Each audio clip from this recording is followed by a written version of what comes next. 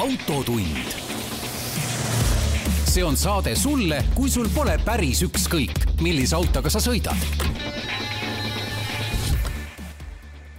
Kupra garaaž on avatud. tule ja koge teistmoodi tunnet teistmoodi autosalongis. oled oodatud, isegi kui sa ei sõida veel Kupraga. meie hubane atmosfäär, stiilne interjöör ja meeleolukas muusika on kõigi jaoks sõida läbi Kopra garaaž, Sõpruse puiestee sada seitsekümmend, Tallinnas.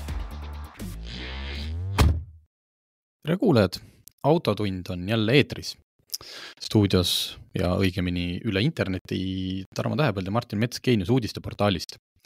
kõigepealt tahaks äh, täpsustada, ühesõnaga, et saime tagasisidet, et vist oli eelmise nädala saade jälle natuke liiga vaikselt, et andke kindlasti tagasisidet äh, näiteks tarmo.geenius.ee kui me oleme jälle kuskil äh, midagi heeblitega sassi ajanud. aga kui me ei ole midagi heeblitega sassi ajanud, siis äh, tahaks jälle meelde tuletada, et kui kuulad Spotify'st või mis Apple'il on, äh, mis see pod-, noh, ühesõnaga, kust iganes te kuulate ja seal on võimalik näiteks ka hinne anda või subscribe ida või midagi, et äh, tehke seda kõike, andke ainult hindeid viis, noh, võite ka vähem anda. aga see lihtsalt aitab saatel jõuda võib-olla rohkemate inimeste sinna äh, voogu.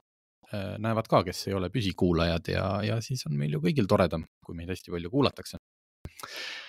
vot, aga mis siis, äh, kui me Martiniga saadet teeme, siis on meil ikkagi see oma nädala sündmus ja minul seekord ei virise või hästi natukene, hästi natukene. ühesõnaga, eelmine nädalavahetus oli ime, oli küll külm, aga oli imeline jääraja ilm ja seda oli ka minu Facebooki feed'ist näha põhimõtteliselt. kõik, kellel vähegi võimalus olid, sõitsid kuskil külg ees. minul on eriti õnn äh, sugulaste kaudu teha seda talviti, kui ilm lubab ühel erajärvel, mis tähendab seda, et seal kedagi teist ei ole. keegi ei ole seda rada kuidagi ära lõhkunud, autosid on vähe ja pakkisin lapsed pühapäeval peale, kuueteist ja üheteistaastase poisi ja sõitsime järvele Äh, sõitsime minu selle Alfa Juliaga. ja ütleme, et äh, noh, arvestades isa ametit, on mu lapsed hämmastavalt külmad kogu automaailma suhtes. muidugi, kui ma mingi ägeda asjaga jälle koju ilmun, siis nad vaatavad ja võib-olla isegi tahavad korra sõitma minna, aga noh, sellist, et nad nüüd loeks autouudiseid või, või minu enda lugusid, et seda ei ole. Äh, läksin järvele, aga tulid muidugi mõlemad kaasa. ühe peamegi panema nüüd autokooli, neid lapselube tegema. ja tead, seal oli, seal ma siis alati iga aasta avastan, et äh, mingi pisik ikkagi sees on, sest et, et põhimõtteliselt paar harjutusringi ja juba, juba lasid külg ees nägu naerul. suurema koti sai mingi hetk lasta ka täitsa üksi niimoodi peale, et ma sain eemalt filmida ja pilti teha ja ka üheteistaastane. et hästi lõbus oli vaadata, et kuigi alguses, noh, nad on, nad on lausa sellisel tasemel, et igaks juhuks mõlemad küsisid ennem, et kumb on pidur, kumb on gaas. aga natukese aja pärast just, just ma imestasin seda selle väiksema poisi puhul, et, et kui see auto läks külg libisemisesse, siis see rooliga vastu pööramine tuli täiesti nagu intuitiivselt et jube hästi korrigeeris, jube hästi oskas niimoodi äh, seal ka, ka libisemises olles noh, hoida seda õiget nurka, et mitte keerata üle või mitte keerata liiga vähe. ütleme, isa süda pakatas rõõmust. ja ise, noh, endal oli ka muidugi jube, noh, see, see oli lihtsalt, see oli jäärajal sõiduks kõige ideaalsemad tingimused, sest et äh, lund oli vähe, aga samas oli, sest et noh, päris kiilas jää peal, eriti mul on ju lamellid, aga isegi noh, noh, tavalise naastuga, et noh, seal oleks päris kiilas jääl oleks ikkagi piigiga, ma arvan, lõbus. et, et see natuke lund mingitel hetkedel pakkus seda vajalikku pidamist. valle ei olnud ja, ja kõik see lumi oli tohutu selline pehme ja kohev. nii et nagu null hirmu sellest, et kui noh, et kui seal on jäised vallid ääres, siis ma ei julgeks ise ja ei tahaks ka lastel lasta sõita ja ainukene koht, mille üle ma viriseks, on mu enda auto, sest et jätkuvalt ei ole ma tegelenud sellega, et lasta äh, autogeeniustel ehk siis osadel inimestel natuke progeda, tekitada juurde üks nupp, mis lubaks sellel Alfa Romeo Giulial äh, veojõu kontrolli maha võtta. et ma olen seda siin korduvalt kurtnud, et äh, Giulia insenerid mis iganes põhjusel otsustasid, et sellesse autosse sellist nuppu üldse ei tulegi. Et äh, kes teab, siis paljudel autodel see nupp on ja paljudel autodel on see ka niimoodi, et ähm, kui näiteks noh, ma ei tea, vist BMW-s ja Volkswagenis, kui sa hoiad seda neli sekundit all, siis ta võtab selle täiesti maha. Äh, muidu on nii, et sa vajutad lihtsalt ta välja ja kui ikkagi läheb näpust ära, et siis ta tuleb sulle appi tagasi, aga mingi, mingil moel on võimalikult täitsa välja lülitada. Alfal null, null võimalust. aga ma tean, et äh, sellised järelturuprogrammid ja asjad on juba olemas. Et see auto on mul nelikveoline, aga ta on tagasi, ühesõnaga tagaveolise platvormiga. et põhimõtteliselt äh, muus osas oleks see nagu ideaalne niisugune jäärajal lõbutsemisauto, aga just see elektroonika peab all. ja see, et mul ei ole naastrehve. aga eelolev nädalavahetus tõotab tulla täpselt samasugune, äkki lähen isegi jälle. ja soovitus on siis, otsige Facebookist jää- ja lumerajad Eestis oli vist selle nimi. Ma seal vaatan ja väga paljud ägedad rajad on tegelenud siin äh, sulajärgselt hooldusega, kiidavad, et seis on hea ja ma tean, et Võrtsjärvel vist avatakse eriti pikk jäärada, kuhu lubatakse peale nii piigi ja kõigega. et otsige ja kasutage seda ära, nagu ma oma isiklikus Facebooki postituses kirjutasin, et selline mõnus jääraja sõit on põhimõtteliselt minu jaoks ainuke põhjus seda kuradi talve siin taluda.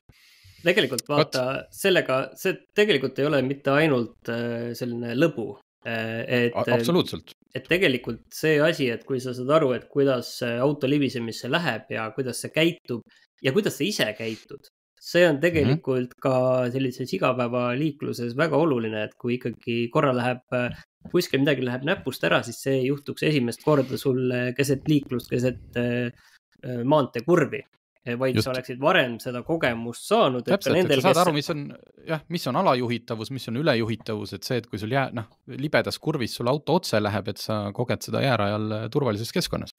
jah, et võib-olla okei okay,, ei ole võib-olla seal maanteel enam midagi teha, ei tea, on ju, aga lihtsalt, et see ei juhtu esimest korda ootamatult äh, päris liikluses et see on tegelikult selles mõttes väga oluline, et äh, noh, mina, mina jäärajal nüüd ei ole käinud, aga, aga sellist äh, noh, ütleme, kaks... eks, eks ma leian selle, olen leidnud need kohad, kus natukene saab proovida. kaks asja sellega meenus veel, üks oli see, et oli ka siis ju uudis, et äh, loomulikult oli ka Männiku karjääril, ma ei mäleta selle konkreetse koha nime, tohutu rahvas peal. ja tuli politsei ja lõpetas selle peo ära. noh, muidugi ma saan aru, eks ju, seal olijate solvumisest, et noh, pagan, et parklates ei või, tänaval noh, on ilmselge, et ei või, aga et kus siis üldse saab lõbutseda ja driftida. Äh, sellepärast ma soovitangi neid äh, Facebooki jääradu, et need on kontrollitud, keegi seal tõenäoliselt vastutab. Männiku puhul, noh, ma saan, ma saan nagu politseist aru. et kuni selle hetkeni, kui midagi ei juhtu ja ma ei mõtle isegi mingite äh, autode kokkupõrkeid, sest noh, sellises olukorras võib seda juhtuda, ma mõtlen näiteks, et kui ei ole kontrollitud jääpaksust. et kui keegi sealt läbi kukub ja politsei ei ole mitte midagi teinud, vaid lasknud sellel asjal seal toimida, noh siis on, no siis on täpselt see, et mingi neli noort on kuskil järvepõhjas ja siis pärast hakatakse süüdlast otsima. et noh, ma selles mõttes saan politseist aru, et sul pole mitte midagi teha, sa pead sellise peo kinni panema, kui ei ole kindel, et see on turvaline. aga teine asi, äh, kui keegi teab head moodust, kuidas pärast sellist jääraja lustimist nagu mingi eriti hea häkk saada velgedest see jää välja, sest see oli kohutav, ma tean ma sõitsin siis sealt mingi kümme, kümme-viisteist kilomeetrit jäi tee peale tikupoiss ja ma tahtsin sealt kapist, kus sa saad rehvi rõhku, rehvidesse õhku ja seal on tavaliselt ka see veeämber, et klaasi pesta. ma tahtsin võtta sealt vett, et äh, siis neid velgi nagu leotada, siis seda jääd lahti. kahjuks see kraan oli kinni külmunud. aga ma ostsin, siis ma ostsin sealt äh, Alexela poest lihtsalt viieliitrise vee selle tünni mis oli selles mõttes hea, seal oli ju kahe, noh, toasoe. ja siis seda vaikselt niristasin ja kruvikeerajaga sealt toksisin, aga noh, täiesti võimatu. sest peale iga jumala jäärajal käimist sa võdistad ennast koju, et nagu see ei ole hea autole, see ei ole mugav sõita. aga mul ei ole nagu noh, ühtegi, ühtegi head lahendust, et niipea, kui ma sealt maha tulen, et kuidas ma siis saan, noh. et on soovitatud siin sooja garaaži ja survepesu, no tõesti, aitäh akusoojapuur, akusoojapuur no,, aga see on ka selline täpselt, natukene nagu ohtlik asi on ju, millega seal hakata majandama, et kui sa natukene ikkagi kuskil natuke seal ebapädevalt lased, siis, siis võivad Just. olla ka kehvemad tulemused. nii et kui on mõni hea nipp, andke teada, aga ma laseks nüüd siis Martinil kas äh, kiita või kurta.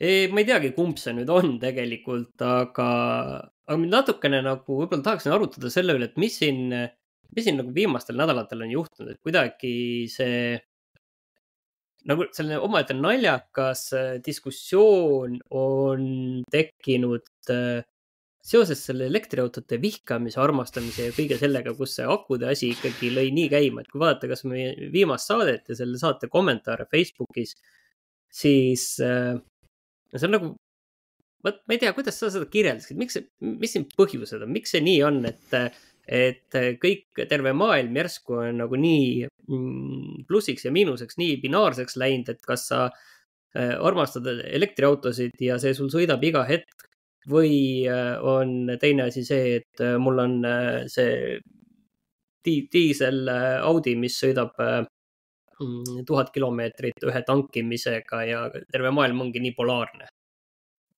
ja siis need, kellel on kogu sellest asjast täiesti ükskõik, lihtsalt ei lähe sinna, kuigi täna just nägin ühe meie loo all ka kommentaari, mul täitsa ükskõik, millega sõidetakse, noh, selline, noh, mõned on ka sellised, aga ega vaidlema lähevadki hästi kirglikud inimesed.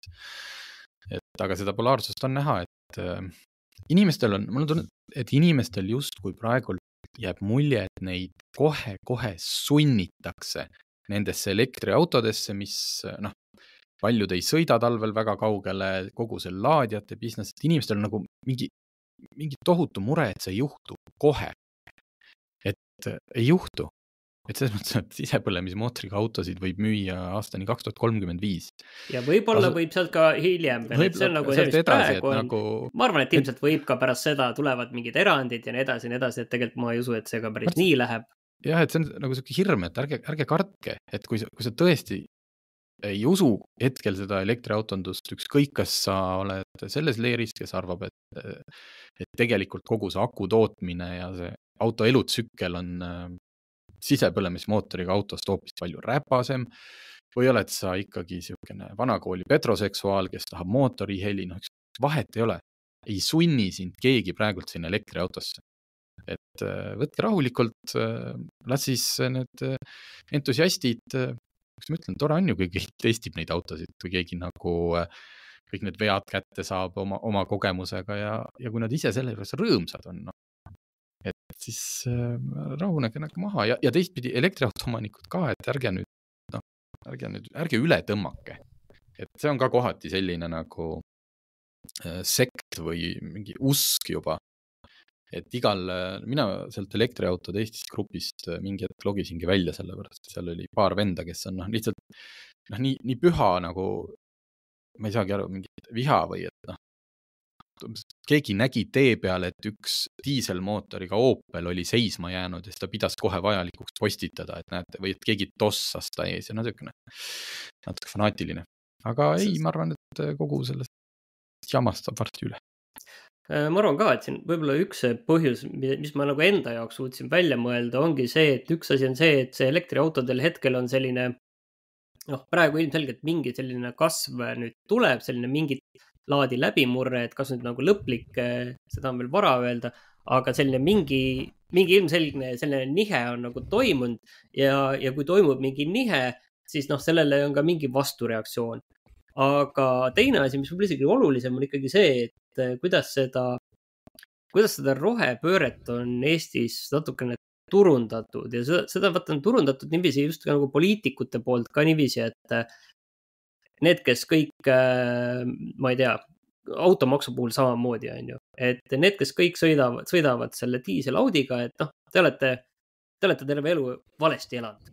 põhimõtteliselt te teete valesti mm -hmm. ja mhm. hakake nüüd palun mm -hmm. tegema õigesti, sest õige just, on see, kui just, sa sõidad selle kuuskümmend tuhat eurot maksma elektriautoga ja, ja see tekitab sellist, noh, sellist trotsivate inimestes, et noh, kus te, me oleme kakskümmend aastat sõitnud selle diiselaudiga, et miks te, ja nüüd tulete järsku üleöö, noh, okei okay,, ta pole üleöö, aga niiviisi järsku rääkima, et kuidas te kõike teete valesti. ja, ja noh, mis siis nagu tahta, tegelikult äh, elektriautode puhul ikkagi peaks, peaks, peaks rääkima sellest, et äh, miks nad on äh, head, mugavad ja, ja siis noh, mingitel juhtudel ka odavamalt pidada võrreldes sellega, et äh, rääkida seda, et kuidas kõik teised, kes on noh, elanud nii, nagu nad on terve elu normaalselt elanud, sõitnud nende bensiinimootoritega või ükskõik millega, on ju, et nad on seda teinud kogu aeg, see on tundunud normaalne, see on olnud ühiskonna jaoks ka normaalne. ja, ja siis järsku tuleb välja, et te olete kõik valesti teinud ja need, kellel on võimalik olnud või tahtmine, siis enam nii-öelda mitte valesti teha, siis nemad on ka sinna hüpanud sinna elektriauto poole ja, seal on ka selline suur hulk inimesi, kes räägivad, et aga näete, et äh, tead, need, need vanameelsed, et nemad teevad valesti. ja kuna me oleme sellises äh, üleminekufaasis, mis kestab nagu noh, ilmselt veel ju väga kaua tegelikult, siis noh, mina nagu ei näe nagu sellisel noh, vihkamise, armastamise, ükskõik, mis need polaarsused seal on, sellel diskussioonil nagu sellisel kujul nagu üldse eriti mõtet, et, et täpselt seesama, et oi, et nüüd olid kümned elektriautod olid tee ääres. okei okay,, siin oli see Delfi artikkel, mis äh, ütleme niiviisi, et äh, võttis ühe üksikjuhtumi või noh, okei okay,, seal oli võib-olla kolm üksikjuhtumit ja siis laiendas seda absoluutselt kõigele. et noh, ma sain aru, miks see ajas inimesed närvi, kes elektriautoga sõidavad mm. -hmm. muidugi, et noh, minul endal maja ees oli ka üks diiselgolf äh, külalise oma, mis ei läinud äh, siin miinus kahekümnega käima ja oli vaja siin see neli korda neli helbi tüübid tulid, äh, panid käima. aga, aga, aga noh, ja sellest, noh, sellest ei, ei tee kuskile uudist, on ju, muidugi ei tee, see on täiesti tavaline, ikka juhtub, on ju. eriti kui äh, aku on olnud seal seitse aastat peal ja, ja nii edasi, et see kõik on nagu selline asi, mis äh, noh, mis ei vääri mingit uudiskünnist. Ja siis noh, okei okay,, oligi ebaõiglaselt tehtud uh, uudis, ebaõiglaselt üles tõmmatud teema, ja, ja siis samamoodi noh, teistpidi jälle kõik need, kes olid trotsi täis, nemad olid jälle niiviisi, et äh, ahah, nägite, nägite, see uus asi, see üldse ei tööta, minge mm -hmm. ka oma rohepöördega, onju. just, just, minge ka oma rohepöördega. ja, aga sellega seoses üks huvitav asi tegelikult, et äh, mm,, et üldiselt äh, Äh, Saksamaal vaata kaotati ära elektriautode ostutoetus ja et mis siis selle peale juhtus, oli see, see oli nagu isegi päris lõbus lugu, et selle peale autode hinnad äh, kukkusid tohutult. ma saan aru, et Dacia Springi, kui see varem, noh, ma ei tea, mis ta varem Saksas maksis täpselt, aga no Eestis ta on ju mingi kakskümmend kaks tuhat. see kukkus kolmeteist tuhande peale. ja, ja teised elektriautode hinnad ka, et nad kukkusid selle ostutoetuse summa võrra, mis Saksamaal on ka peaaegu viis tuhat eurot, kukkusid veel rohkem mitmed autod et see tegelikult ikkagi näitab seda, et see ostutoetus äh, hoidis kunstlikult hindu üleval. ja ma olen täiesti kindel, et see ostutoetus hoiab kunstlikult elektriautode hindu üleval ka Eestis. ja see on, äh, see ostutoetus sellisel kujul on kahjulik meile kõigile tarbijatena. vot, ma jätkan siit elektriautoga, ma tahtsin lihtsalt, kuna eelmine nädal saadet lindistades oli mul see Riviani sõit veel pooleli ja ma lubasin, et vot Äh, sellel hommikul, kui me Raikoga ära rääkisime, et vot nüüd ma lähen alles seda testima. Äh, ma pean ütlema, et see test jäi selles mõttes kesiseks ehk lühikeseks. autoga ei juhtunud mitte midagi, küll aga juhtus ilmaga. et ma siin vist saates rääkisin ka, et sellel olid all sellised all terrain rehvid, mis ei olnud meie talve jaoks kindlasti sobilikud ja käisime siis äh, Paulaga, tegime väga ägedaid pilte, ronisin muidugi ka sinna kesktunnelisse, sest kui see on olemas, siis sinna peab ronima mahtusin ilusti.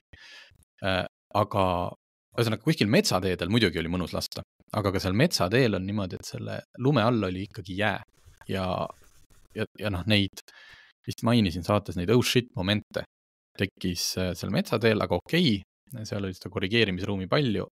aga kui ma sõitsin tagasi mööda Tallinna ringteed, siis oli selline nagu noh, võib-olla tavalise rehviga polekski tundnud, aga aga seda paar korda see auto lihtsalt teel nagu jõnksatas ja ma sain aru, et mul ei ole mitte mingit pidamist. kui ma jõudsin Tallinna piirile, kus hakkas tekkima juba mingit sorti musta jäälaadne toode, siis ma panin lihtsalt ohutuled peale, sõitsin ise viiekümnega, hoidsin mitmesaja meetrist pikki vahet. Lihtsalt, et keegi mulle selga ei tuleks, ta näeb, ahah, mingi ohutuledega mees, et ma jõuaks selle autoga turvaliselt äh, sinna esindusse tagasi. ehk, et ma ei oska teile öelda, mis tunne on kiirendada kolmetonnise kastikaga sajani kolme koma kolme sekundiga. ma usun, et see auto seda teeb. see auto ei tee seda miinus kuueteistkümne kraadiga Eestis. rehvid, külmad rehvid, noh, need ei ole ka need kiirendusrehvid. üks asi ja teine, ma vist ei, võisin ka andmetega eksida, et nüüd ma kirjutasin loo valmis, kontrollisin, et sellel autol, ühesõnaga Riviani saab kolme, kolme akuga. sada viis kilovatt-tundi, sada kolmkümmend viis kilovatt-tundi ja sada nelikümmend üheksa kilovatt-tundi. sellest suurem minu teada peast oskan öelda vist ainult äh, Hummer EV-l, millel on kakssada kilovatt-tundi aku. Äh, proovisõiduautol oli saja kolmekümne viie kilovatt-tunnine aku ja, ja sellega on nii, et kui vaatad Riviani kodulehte, siis seda nelja mootoriga äh, quad-mootor versiooni saabki ainult äh, selle äh, sada kolmkümmend viis kilovatt-tundi akuga. võib-olla ka väiksemaga, aga kindlasti mitte selle kõige suurema akuga. et kui, kui ei ole vaja nelja mootorit ja seda maailma kõige suuremat kiirendust, et siis võid võtta dual mootori ja panna sinna peale saja, põhimõtteliselt saja viiekümne kilovatt-tunnise aku millega ideaaltingimustes saab sõita. vist oli kuussada nelikümmend kolm kilomeetrit, kujutage ette, kolmetonnise autoga, kui sinna asju veel peale paned, siis kolm pool tonni. et ta on selleks, et sõiduauto kategooriasse, siis tema maksimaalne täismass ongi kolm tuhat viissada. tal on tohutu haagiseveo võimekus, viis tuhat kuni viis tuhat kilo võid haagist vedada, aga siis tuleb ta noh, registreerida teise kategooriasse. antud, antud autol oli Haagisepea võimekus vist, kas oli piduritega, Haagisel oli nelisada viiskümmend. et ühesõnaga, sellisel kujul mingit töömehe autot sellest ei ole. aga ma olen jätkuvalt sellest autost väga vaimustatud, mulle ta tohutult meeldis ja mõt-, ja, ja lõpuks, et miks ta siis mulle meeldis, üks põhjus ongi see, et ta ei näe välja selline, et tal on kaheksasada nelikümmend seitse hobujõudu. ta näeb välja, see esiosa on hästi sõbralik, nunnu, tavaline kihvt, mingi mingi huvitav kastikas. nii et ka kõige radikaalsem niisugune rohepööraja tõenäoliselt ei tule mulle sinna võtmega ukse peal needusi kraapima, sest et noh, see auto ei näe välja ohtlik. vot, väga kihvt oli. üks noh, lihtne on öelda, et selle aasta kõige ägedam proovisõit, sest seda aastat on olnud täpselt kaksteist päeva, aga ütleme viimaste aastate, viimaste aastate niisugune ja kui ma auto tagasi viisin, siis äh, mulle veel öeldi, et noh, ma veel küsisin igaks üle, kas omanikul ikkagi okei okay,, et tegime pilte, noh, et ei oleks mingit segadust. ja, ja ta ütles, et äh, sõitke aga ja minge kohe maastikule ja testige kohe nii, et on testitud ja siis ma nii kahetsesin, et see ilm sattus selline, nagu sattus, et ma sellesama tee pärast ma ei julgenud Kõrvemaale minna, sest seal on need pikad sinna Mustjõe maastikurajale, sest seal on need pikad sellised äh, metsasihid või ma ei teagi, need on mingid välja või suured nagu teed, aga ühe auto laiused põhimõtteliselt. mis tähendab täpselt seesama, et kui ma seal siis kolm, kolm tonni nagu korraks otsustab, et ta tegelikult tahaks sõita natuke hoopis külg ees või midagi, siis ma leian ennast sealt väga-väga-väga äh, sügavast kraavist, kust see auto tõenäoliselt roniks ise välja ilma mingi mureta, aga noh, kindlasti ilm, mitte ilma kahjustusteta. aga võib-olla kevade poole, kui ilmad paremad ja tee ei ole libe, äkki antakse meile see auto uuesti. vot, nii, mis meil siin äh, teemadest kirjas on? Äh, üks asi, äh, tegime siis kohe aasta alguses intervjuu politseiga, sest et eelmise aasta olukord liikluses, ma isegi arvasin, et, et see number tuleb suurem, sest kuna me saame pressiteateid, siis ma saan kogu aeg kui niipea, kui maanteel on õnnetus juhtunud, keegi surma saanud, ma saan nagu selle emaili peale. ja, ja just nagu aasta lõpus, detsembrikuus tundus nagu, nagu herre jumala, iga jumala päev on keegi jälle surma saanud uh,. tegelikult oli see number kokku viiskümmend üheksa, mis on viiskümmend üheksa inimest liiga palju, aga, aga noh, siin on olnud viimastel aastatel ka seitsmekümnega inimesi, noh, ärme üheksakümnendate algustest räägi, kus oli üle viiesaja aga ühesõnaga, liiga palju ja küsisime siis äh, politseilt, politseikolonel leitnant Sirle Loigolt, et teeks äkki väikse intervjuu, analüüsiks neid põhjuseid. et noh, vaataks natuke sügavamale kui selle nagu, nagu loosungite taha, et kiirus tapab ja noh, kiirus ja kiirus ja kõik, noh, kõiges on süüdi kiirus ja muidugi napsussõit. ja üks asi, pikk intervjuu, see on äh, autogeenuse lehelt leitav äh, seal on Sirle Loigo toob päris palju huvitavaid asju välja, aga mis minu jaoks oli huvitav, oli see, et kui palju inimesi hukkus selle tõttu, kõige lihtsama asja tõttu. ma tean, mida sa vist mõtled ja ma mõtlen Nii. ise vist sama asja peale, sa mõtled seda, et tegelikult, mida me loeme ka nendest äh, samadest meilidest, mis sa teada andsid, oli see, et inimene paiskus autost välja, sest turvavöö oli kinnitamata.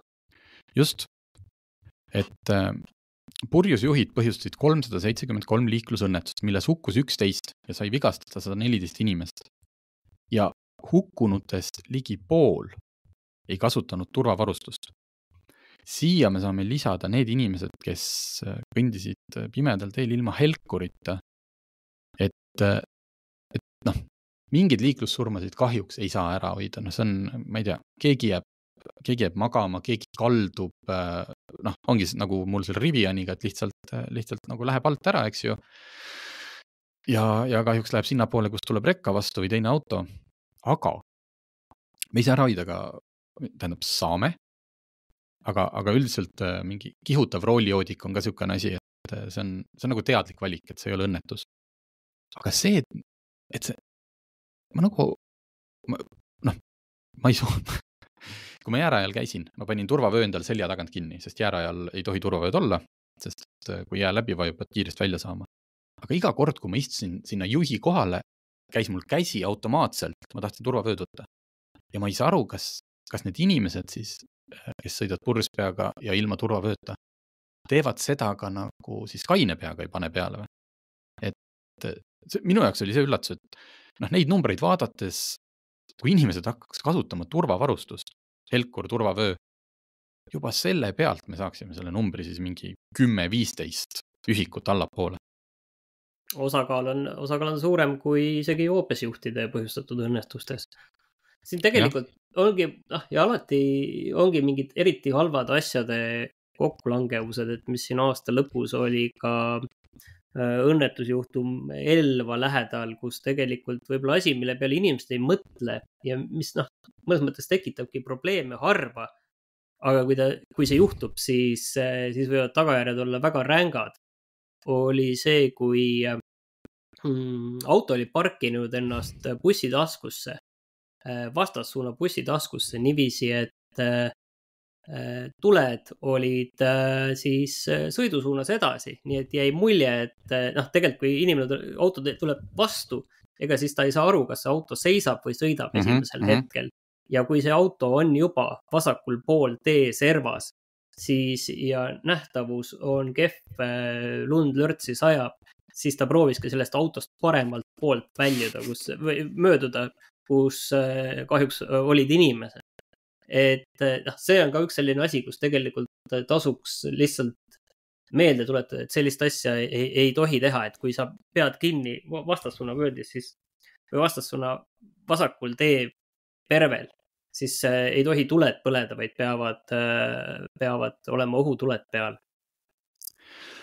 Ja teine suur asi, mille Sirle Loigo välja tõi, mis tekitab palju kirgi, on ikkagi see, et noh, ma eeldan, et ta rääkis siis mitte isiklikust, vaid ikkagi politsei vaatenurgast, et see veapunkti süsteem oleks ülioluline selleks, et meie liikluses olukord paremaks läheb. Äh, ta ütleb, et kui turvavööta sõidu eest on trahv nelikümmend ja roolis kõrvalise asjaga tegelemise eest kakskümmend eurot, siis keda see motiveerib? et eriti arvestades inflatsiooni vabandust, inflatsiooni. et äh, liikluses on vaja tegeleda nendega, kes panevad toime kõige rohkem rikkumisi. et noh, praegult ei lähe näiteks karistusregistrisse ja kuskile ei lähe kirja needsamad äh, kaamerasse sõidud. et ehk siis, et mingid inimesed regulaarselt või noh, teadlikult ületavadki kiirust ja noh, veis ju käib ja, ja kui ka, kui ka ei käi ja sa selle lätaka ära saad, kannad üle ja lähed oma eluga edasi, et sa kuskile kirja ei lähe aga ja... siin on tegelikult teistmoodi asi, et vaata mm,, saad, eh, tegelikult peaks nüüd politsei käest küsima, et palju seda turvavööta sõidu eest eh, neljakümne eurost trahvi siis eelmine aasta ka tehti. ma kahtlustan, et seda tehti väga-väga vähe, sest sellist asja reaalselt tegelikult ju ei kontrollita niiviisi süstemaatiliselt. okei okay,, üks on turvavöö, aga see tulebki ju välja siis, kui see turvavöö ja kogu see asi oli teema, on ju, üheksakümnendatel ja kus, ma ei tea, pooled inimesed seda ei kasutanud, sest ei ole ebamugav. Ja noh, tänaseks päevaks ikkagi me oleme seal, kus enamik inimesi kasutab. ma olin kusjuures eelmine aasta ühe korra sõitsin inimesega, kes, kes ei kasutanud turvavööd, ma vaatasin kohe, et äh, aga, aga sellist asja ju ei kontrollita, et tegelikult politseil pole ka ju ressurssi, et sellist asja kontrollida. et, et noh, seal tekib jälle see küsimus, et okei okay,, et me võime selle veapunkti süsteemi ju panna selle turvavööde sõidu on ju kenasti sisse, aga noh, keegi ei hakka selle eest äh, neid äh, veapunkte saama, kui tõesti mingi juhuslikult mingil muul põhjusel peatatakse see auto kinni ja leitakse, et näed, turvavööd ei ole, et see on ka selline asi, et tõesti, kui politsei kinni peab ja keegi ei kasuta turvavööd, siis noh, suur tõenäosus on, et ta jõuab selle veel seal tegelikult kinni lükata ka enne seda, kui seisma jääb. et noh mm, -hmm. ma ei tea, kas see on ei, rohkem see, et paberil siin... tundub hea idee, aga. ei, ei, siin nagu üks on turvavöö, aga ega selle loigo ikkagi rõhub tegelikult kiirusele, et ta ütleb, et kõrvalt vaadates tundub täiesti jabur, et inimene on liiklusreegleid rikkunud ja karistada saanud üheksateist korda, et miks talt pole juhiluba ära võetud. sellepärast, et need kõik on väiksemad niinimetatud lühimenetluse rikkumised, et noh, seesama kaamerad, asjad, kõik.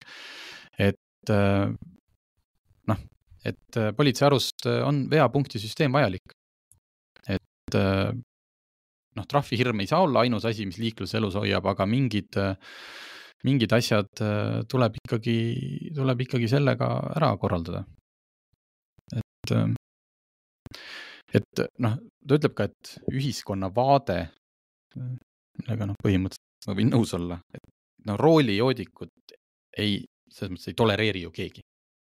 keegi ei astu kait-, noh niimoodi, et no ja mis see, kuule, see null koma viis, kuulge ärge nüüd, eks ju, no ei, keegi ei kaitse roolijoodikuid aga kiirus on äh, noh, selline, ükskõik, kas on siis kuni kakskümmend üle või noh, nojah, noh, on siis nojah, ilus ei ole, aga, aga, aga keegi otseselt ju nagu ei, ma ei tea, ei võta väga palju sõna või võtab, aga ei ole sellist ühiskondlikku ühtset taunimist kiiruse ületuse osas mille kohta ei ole ka ühiskondlikku ühtset arusaama ei inimestel ega, ega poliitikutel.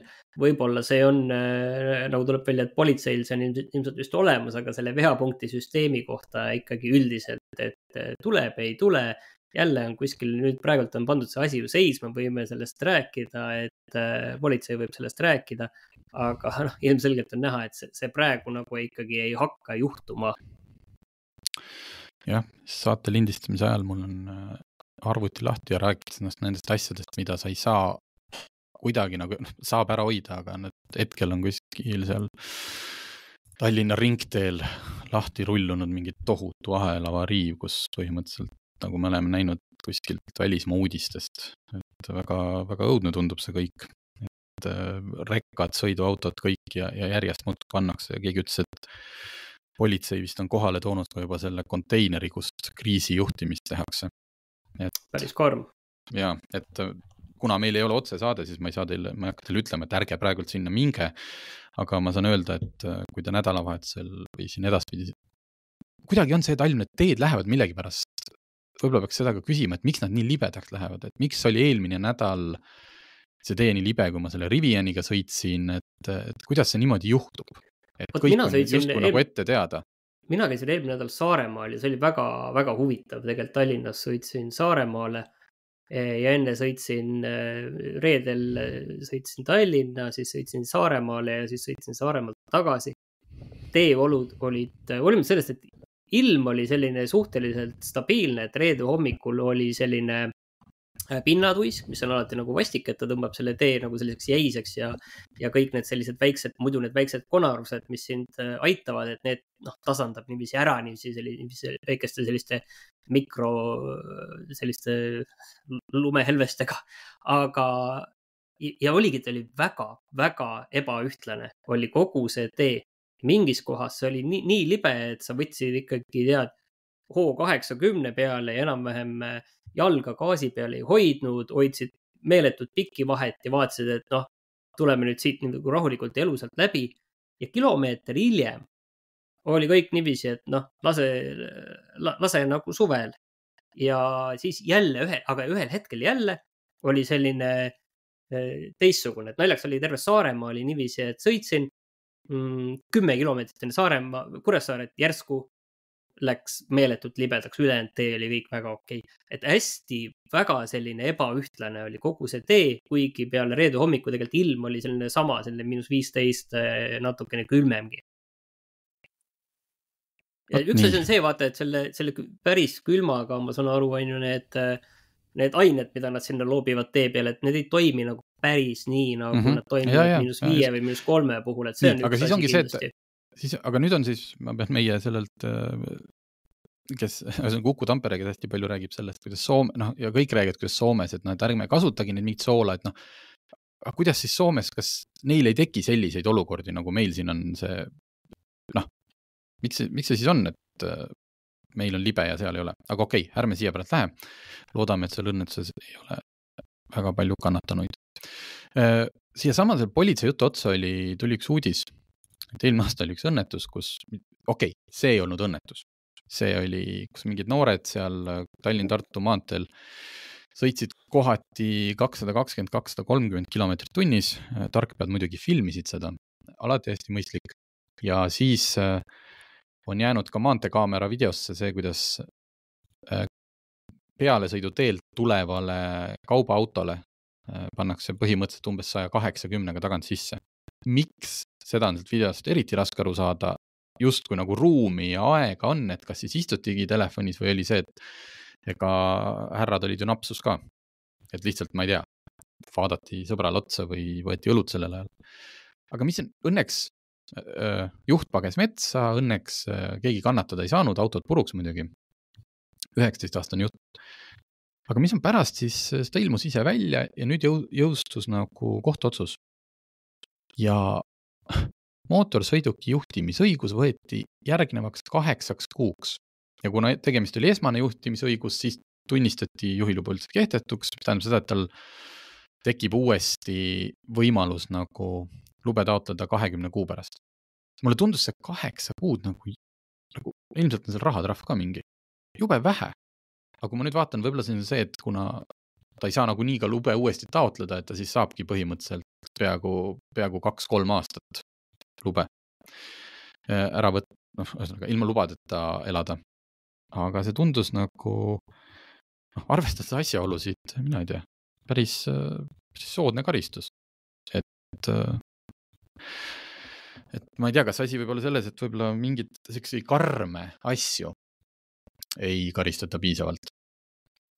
Mul ei olegi siin rohkem midagi öelda, lihtsalt selline juhtum oli ja selline karistus anti jah, vaatasin just seda videot ka ja väga-väga kummaline öö, õnnetus. nii, eelmise aasta automüügi kokkuvõte tuli. Mm, siin üllatusi topis muidugi ei ole. Toyota võitis, Škoda teine, umbes üheksasada autot on neil vahet, kolmas Audi. Mudelitest muidugi RAV4, Corolla ja Octavia. kallitest autodest Äh, räägime siis uutest Eestis registreeritud autodest, nelikümmend üks Lamborghinit võrreldes kolmekümnega eelmisel aastal või üle-eelmisel siis. Bentley kolmkümmend üheksa võrreldes kakskümmend kolm üle-eelmine aasta, Ferrarisid kaheksateist, neid osteti üle-eelmine aasta kakskümmend neli. ja Maserati siis neliteist, McLarenid kaks, Rolls-Royce üks. See selleks. Äh, mis meil tekkis lihtsalt omal kokku, arvestades Eesti autoturu väiksust, kokku müüdi eelmine aasta kakskümmend kaks tuhat kaheksasada kakskümmend uut sõiduautot.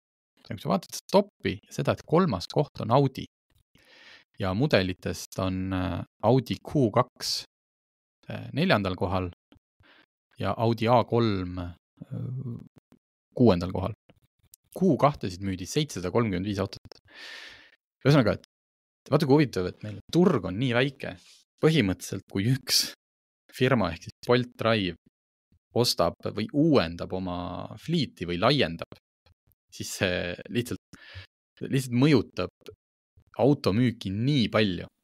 et kui sõiduautode müügikasv oli üksteist koma seitse protsenti võrreldes kahe tuhande kahekümne teisega, siis huvitav, et noh, et jääb mulje nagu justkui nagu auto, et noh, inimesed on hakanud autosid ostma aga kui suur protsent sellest on just see, et Bolt Drive või Citybee uuendas oma masinaparki ja nii jääb mulje, et äh, need sõidu rendi ja jagamine, mis peaks autode ostmist vähendama, töötab vastupidises suunas numbrid vähemalt näitavad selles mõttes. küsisime Boltilt ka, et küsisin Boltilt, et mida ja kui palju ostsite.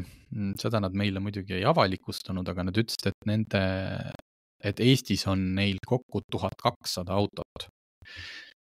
Noh, okei okay,, osad ei ole eelmisel aastal ostetud, osad on ka natuke vanemad, aga mõtle, kui, kui juhul, kui ostaks Bolt tuhat kakssada autot, mis siis kahekümne kahest tuhandest on äkki viis protsenti või? Äh, jah. umbes, umbes viis protsenti. Ühe firma soetus, et väga oluline, et, et nii see, nii see müügi edetabel siin tekib elektriautosid siis müüdi kuus koma kolm protsenti, mis on siis äh, umbes tuhat nelisada kolmkümmend seitse autot. aga hübriide oli kokku nelikümmend kaks protsenti lausa. ja, aga see hübriididega ma käisin Kanal kahe nende uues hommikuprogrammis ka seda selgitamas, et noh, tuleb arvestada, et paljud ikkagi mõtlevad, hübriid ah, nagu Toyotal, noh, see, kus on ikkagi enam-vähem arvestatav aku peal, mis sul linnas hästi palju aitab kütusekulu hoida. noh, see aku on, ma ei tea, mingi üks või kaks kilovatt-tundi, aga ta on seal. siis äh, tegelikult hübriidina lähevad kirja ka mild hübriidid ehk pehme, pehme hübriid, mis on põhimõtteliselt lihtsalt väike starter äh, või ühesõnaga väike mootor, mis aitab näiteks äh, kas kohaltvõtul või start-stop süsteemina või siis noh, õige vähega nagu elektriga kulgeda aga, aga ta kindlasti ei ole see nii-öelda täishübriid ega aga mis see, mis see lihtsalt huvi pärast ma nüüd seda pealt ei tea, et mis selle mild hübriidi see äh, CO kahe numbrid äh, on, et palju need madalamaks tulevad? no veits ikka tulevad, aga, aga, aga mitte sellisel määral nagu, nagu täishübriidil, aga, aga me teame, et autotootja jaoks on seal ka üks gramm, ka null koma üks gramm võib äh, väga oluliseks osutuda, sest seal on ju need mingid äh, nii-öelda trahvimäärad, mis sa saad, kui su, kui su müüdud autode see CO2 kogus ei vasta mingitele nõuetele, et, et noh, ilmselt aitabki, aga lihtsalt, et natuke jääb justkui mulje, et kõik nüüd noh, nelikümmend kaks koma kaks protsenti hübriidautosid, need ei ole kõik sellised täishübriidid, vaid enamik on ikkagi need pehme hübriidid kui vaadata tegelikult nüüd selle keskkonna koha pealt ikkagi on niiviisi, et nelikümmend kaks hübriidid ja, ja kuus protsenti elektriautod, siis Äh, pooled müüdud autod olid vaata ju vähemalt hübriidid, et keskkonna vaates mul on tunne, et äh, me, me liigume väga hästi, kui paberil vaadata mm -hmm.. noh, tegelikult ju ega nii-öelda autode keskmine kütusekulu ja kõik see, ma olen rääkinud, hetkel ma seda statistikat välja ei viitsi otsida, mingi hetk liikus ju kogu aeg allapoole. just sellega, et autosid saadi, noh, ma loodan, et mitte mingite diiselgate idega, vaid et noh, mootorid muutuvad aina efektiivsemaks, et me mäletame ju omal ajal, kui me sinuga noored olime, siis keskmise sedaani kütusekulu oli noh, sihuke kaheksa-üheksa, kui sa mõistlikult sõitsid ja maanteel ja niimoodi, siis täna on see ikkagi pigem nagu kuus. ka bensiinimootoriga autol, diislil mm -hmm. jumala eest alla viie. aga teine põhjus on see, et need autod lähevad suuremaks, sest me kõik sõidame nende totakate linnamaasturitega me tahame suuremat ja aina suuremat ja kõik, eh, iga järgmine mudel, mis oli vist Honda CRV kasvas, eks ju, kümme koma üks sentimeetrit. jah, eh, nad oskavad neid ka kergemaks teha ja siis panevad sinna hübriidi peale, aga mõõtmed ja kaal kogu aeg kasvab. mis tähendab seda, et globaalselt see keskmise kütusekulu ja noh, tõenäoliselt siis ka, eks ju, CO2 on pigem noh, tõusmas autode arv nagunii, aga ka, aga ka nagu keskmine see, mis on ka tobe veits. nii, aga uus äh, Land Cruiser kuulutati välja, et kas see ka nüüd kasvas või kahanes? ma niimoodi ei oska öelda, see on alati suur auto olnud, lihtsalt äh, Land Cruiser on olnud äh, väga pikalt ühesugune, tal on saanud noh, mitmeid mudeli uuendusi, aga, aga tegelikult ikkagi iidne auto. samas, eks ju, vana hea Toyota lähenemine, et kui mingi asi töötab, siis ei ole mõtet seda muuta aga see aasta jõuab täiesti uus Land Cruiser, mis näeb väga kihvt välja. Äh, äh, siin on selline erisus, et kui ta müüki tuleb, ta tuleb äh, kahe erineva välimusega. mis tähendab seda, et kui sa oled tõeline Land Cruiseri fänn, siis sa pead kindlasti ruttu minema broneerima omale selle first edition'i, millel on ümmargused esituled, natuke nagu natuke selline retrokas. Honda E, ta on nagu Honda E, vaata. Honda E, jah et kindlasti saab see kunagi hoiab paremini hinda ja, ja ma olen kindel, et mingid, kindlasti saad sa oma tavalise Land kruiiser, millel on sellised kandilised tuled nüüd või piklikud, ristkülikukujulised. kindlasti saad selle, noh, first edition stange omale järelturult ka ilmselt osta, aga ühesõnaga jah, tehniliselt täpselt samad autod, lihtsalt nägu on teine. aga miks, miks ma selle uudist tõin, et lihtsalt hinnad kuulutati välja. et kui praegult on olnud Land Cruiser hinnakirja järgi vähemalt äh, arvestades tema võimekust ja suurust ja populaarsust, noh, pigem nagu odav auto. muidugi, kõik äh, Land Cruiser'id ostetakse ikka täisvarustusega, kui see just ei ole mingine metsamees, kes ostab oma objektijuhtidele näiteks viis autot, siis on suva, aga, aga siuksed täisvarustused, Land Cruiserid äh, veebist vaatad, noh pigem sihuke kuuskümmend tuhat eurot auto. ei ole odav, aga autot on selle eest muidugi mega palju.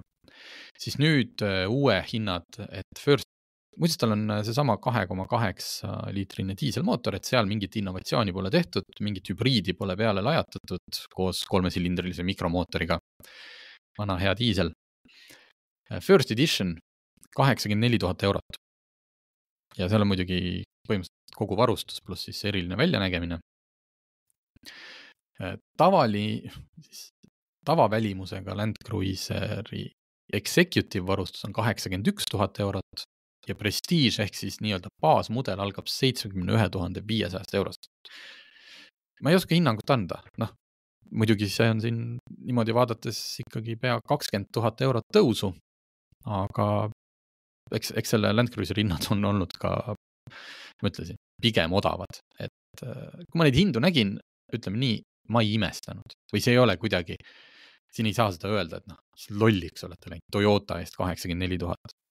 ei, see on samasugune elustiili auto nagu paljud ja kaheksakümmend neli tuhat tänases automaailmas ei ole nagu mitte midagi eeldusel, et siin on ka nii, okei okay,, mootor on äh, pigem vana, aga et noh, eeldan, et kõik on ju natuke parem, natuke luksuslikum, natuke uuem. Äh, et odavaid autosid enam ei toodeta. Üks naljakas asi, mis, mis silma lihtsalt torkab selle juures, kui ma neid uh, uue Land Cruiseri pilte vaatan, on see, et need rattakoopad on muutunud selliseks natuke rohkem nelinurksemaks, et nad noh, sellised servad on natukene teravamad, et varem need olid natuke kumeramad ja, ja need natuke rohkem meenutavad RAV4-ja, need mm -hmm. rattakoopad. et see Ühesõnaga, on kuidagi naljakas. ma ei kahtle, et sellest saab järjekordne Toyota hitt-toode, et äh, pole, pole nagu põhjust kahelda, et kui neid Land Cruisereid on äh, sadu ostetud iga aasta, muidugi see on huvitav, et kas uut Land Cruiserit saab ka N1-na, et Eestis ju enamik neid müüakse N1 kategoorias ehk siis nii-öelda tarbesõidukina, mis annab ettevõttele, ma ei, ma ei mäleta no,, mis, mis soodustusi no, ta andis. eks ta ongi põhimõtteliselt tarbesõiduk. no põhimõtteliselt, no vot, kui sa nüüd vaatad neid siin pilte, siis väga ei tundu, aga kui seda nii vastavalt kasutada, siis muidugi. Et eh, see saab huvitav olema jah, et, eh, et kas, kas saab. kuule, aga ma arvan, et me oleme täna teinud täitsa tutske saate jälle ja võib-olla tõmbaks siinkohal otsad kokku. ja kuuleme järgmine nädal jälle Kupra garaaž on avatud. tule ja koge teistmoodi tunnet teistmoodi autosalongis. oled oodatud, isegi kui sa ei sõida veel Kupraga. Meie hubane atmosfäär, stiilne interjöör ja meeleolukas muusika on kõigi jaoks. sõida läbi Kupra garaaž, Sõpruse puiestee sada seitsekümmend, Tallinnas